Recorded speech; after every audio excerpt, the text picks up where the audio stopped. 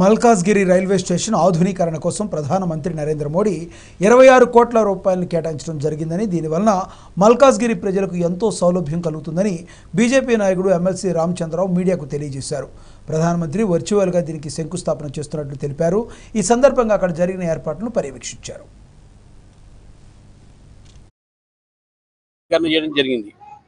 కొన్ని వందల కోట్లతోని ఈరోజు రేపు జరిగేటటువంటి ఒక నరేంద్ర మోదీ గారి వర్చువల్ ప్రోగ్రాంలో తెలంగాణలో ఆంధ్రాలో కొన్ని రైల్వే స్టేషన్ల ఆధునీకరణ చేస్తున్నారు. దాంట్లో మల్కాజ్గిరి ఇరవై ఆరు కోట్లతోని మల్కాజ్గిరి స్టేషన్ని ఆధునీకరణ చేసినటువంటి విషయాన్ని మనము ఈరోజు గమనించాల్సిన అవసరం ఉన్నది.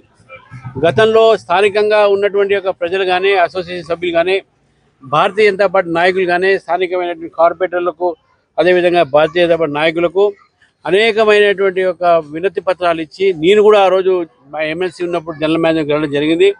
ఈ యొక్క రైల్వే స్టేషన్ ఆధునీకరణ చేయాలి. ఎందుకంటే చాలా ట్రాఫిక్ పెరిగింది ఇక్కడ. చాలామంది చాలా ఎంఎంటీఎస్ వస్తుంది. ఇక్కడ అనేక ట్రైన్స్ ఇక్కడ అవుతాయి కాబట్టి ఆ కేంద్ర ప్రభుత్వం ఈరోజు దానికి ఆ వినతి పత్రాలకు స్పందిస్తూ ఈరోజు మల్కాజ్గిరికి ఒక వరంలానే ఇరవై ఆరు కోట్లతోని అన్ని వసతులతో ఉన్నటువంటి మోడ్రన్ రైల్వే స్టేషన్ నిర్మాణంగా అవుతా ఉంది.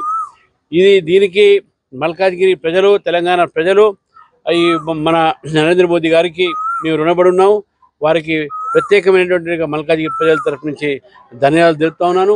ఈ యొక్క ఆధునీకరణ జరిగిన సందర్భంగా మల్కాజ్గిరి ప్రజలకు ఇది ఒక మంచి వరము. వారు ఈ వసతులన్నీ కూడా మంచి వాడుకొని రేపు రాబోయే రోజుల్లో మన తెలంగాణకు కేంద్ర ప్రభుత్వం ఇస్తున్నటువంటి ఒక సహకారంలో ఇది ఒక పెద్ద కాంట్రిబ్యూషన్ చెప్పేసి కూడా భావించాల్సిందిగా మేము కోరుతా ఉన్నాం. రేపు తొమ్మిది గంటలకు ప్రారంభమయ్యేటటువంటి ఒక ఈ కార్యక్రమంలో మోదీ గారు వర్చువల్గా వారే దీన్ని ఇనాగ్రేట్ చేస్తారు. పదకొండు పదిన్నర నుంచి పదకొండు వారు మాట్లాడి ఆ సమయంలోనే దీనికి ఇనాగ్రేషన్ చేసిన తర్వాత ఇక్కడ ఉన్నటువంటి ఒక ప్రజల్ని వారు ఉద్దేశిస్తారు. కాబట్టి ఇక్కడ ఉన్నటువంటి ఒక ఏదైతే మల్కాజిగిరిలో జరుగుతున్న